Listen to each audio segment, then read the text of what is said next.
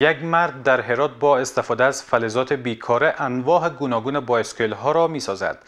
او می‌گوید بیش از 20 سال می شود که سرگرم ساخت بایسکل هست و تا کنون 64 مدل بایسکل را طراحی و ساخته است.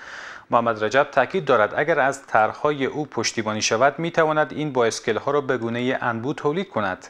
از سوی هم باشندگان هرات ساخت این بایسکل ها توسط محمد رجب را ستایش می کنند. همکارم حسین نیکخواه این گزارش را تهیه کرده است. محمد رجب گلجو بیش از 20 سال است که سرگرم ساخت انواع گوناگون بایسکل ها است.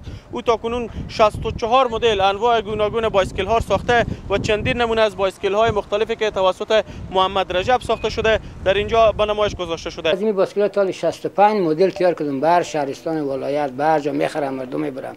بار بریم مسافر بریم اینه که شما عکسای دیدیم و می‌بینیم و هستم بغیرم چند دارم خودم فیلم عکس گرفتم.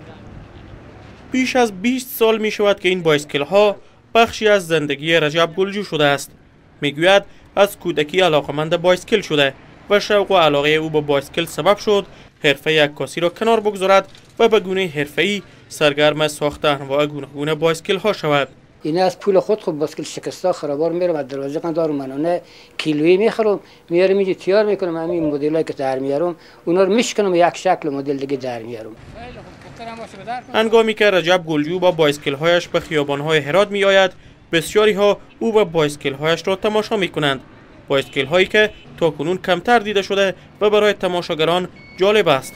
هرچند رجب از برخورد برخی افراد گلایه دارد و می‌گوید ادعای او را تمسخر می کنند که کار کردن نمی‌تونن که اگه دیلت باشه به زینا توجه کن خیلی کار خوبه. 19 سال بشه که ما اینجا همسایه مانه و انواع باسکل های درست می‌کنه خانواده رجب چند سال می شود که کشور را ترک کردند اما او به خاطر علاقهش به وطن افغانستان را ترک نکرده.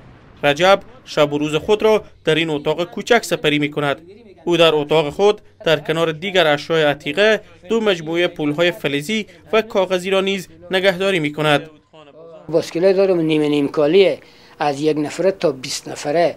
منتها همون جای نیه که ما اینا رو بگذارم تا چندین بار بگفتم کسی به ما امت و امت و کمک همکاری نکرده نمی‌کنم رجب با سرهم کردن فلزات بیکاره و بایسکل های تخریب شده انواع گوناگون بایسکل ها را می سازد طرحهای نخستین ساخت بایسکل ها نیز از خود او است. اما تا کنون کسی از رجب و طرحهای او پشتیبانی مالی نکرده است.